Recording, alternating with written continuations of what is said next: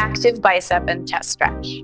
We spend a lot of time in our daily lives doing activities like this. We're driving, we're reading, we're texting. We want to do exercises and stretches to help open up the muscles of the chest as well as the biceps so they don't pull our shoulders down. Start by clasping your hands at the base of your spine. As you draw your shoulders back, lift your chest up. And if you have the flexibility here, you can start to extend your fist down towards your heels.